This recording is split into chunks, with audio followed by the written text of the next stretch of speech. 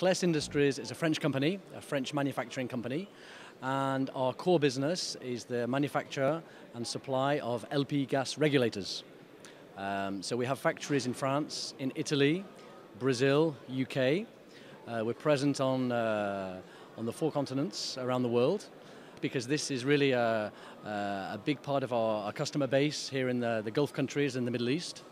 Um, so our regulators that are, we manufacture are really from the, the, small 1 kg regulator for a gas cylinder up until 1200 kg for a more industrial commercial application.